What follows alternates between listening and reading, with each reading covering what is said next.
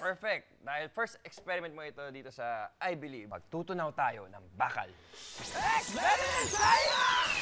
Oh, para bumilib si Devon, gawin na natin. Sige, So first, kailangan natin mag-boil ng tubig, magpakulo ng tubig.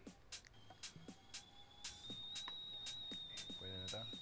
Okay, patayin natin ngayon ang apoy. Okay. Tapos, kailangan mag-ingat, mga I-believers, dahil kumukulong tubig ang Siyempre, nakakapaso yan. gagamitin natin. Ubuhos natin ang kumukulong tubig dito sa glass.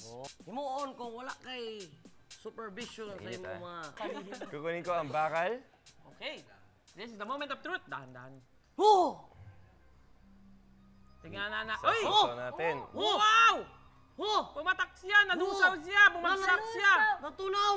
Oh, di ba? I believe! Ang gallium ay element na na-discover noong 1875 ng French chemist na si Paul-Émile Lecoq de Bosbaudran. Isa ito sa mga non-radioactive metals kasama ng cesium, rubidium at mercury. Mga metal na nagiging liquid at or near room temperature levels. Meron itong melting point na 29.7 degrees Celsius or 85.5 degrees Fahrenheit. 4 degrees higher lang than the average room temperature. Kaya natunaw at naging liquid ito sa mainit na tubig. Pero di tulad ng mercury, ito ay non-toxic kaya safe itong hawakan. I believe.